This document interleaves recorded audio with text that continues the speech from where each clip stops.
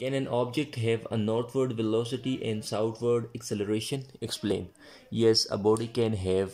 velocity and acceleration in opposite direction पूछा गया है कि क्या एक्सेलरेशन और वेलोसिटी एक ही बॉडी के एक ही टाइम पर मुख्तलिफ़ डायरेक्शन में हो सकती है या नहीं? जी हाँ हो सकती है। जब भी बॉडी स्लो डाउन हो रही हो डी एक्सेलरेट हो रही हो then the velocity is actually in one direction and the acceleration is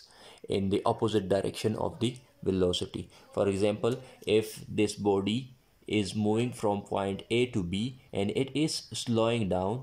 then velocity इस तरफ है लेकिन चूंकि वेलोसिटी कम हो रही है इसलिए एक्सेलरेशन जो है वो इस डायरेक्शन में है that is opposite to the direction of the velocity so yes a body can have velocity and acceleration in opposite directions if the body is slowing down